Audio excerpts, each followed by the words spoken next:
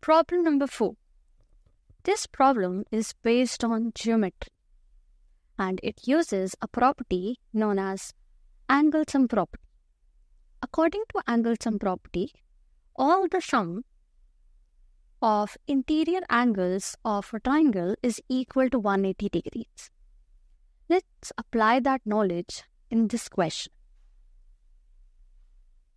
Here we have some quadrilateral ABCD. And angle ADC is given as 70 degrees.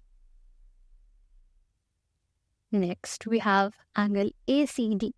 That will be this angle here. This is also 70 degrees. Next, we have angle ACB. ACB as 10 degrees. And angle BAD, the whole angle is 110 degrees we have to find the measure of angle CAB. This angle.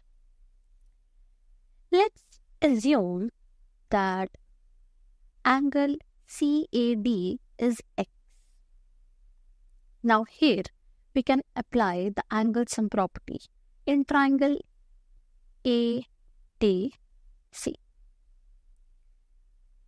Here x plus 70 plus 70 degrees is equal to 180 degrees.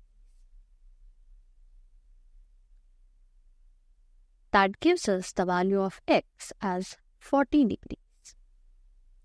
Now can we find CAB? Yes.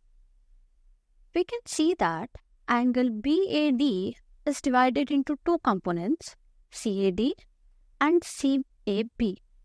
Since we have the value of CAD that is 40 degrees, we can just subtract it from 110 that gives us our answer as 70 degrees. So, the value of CAB is 70 degrees.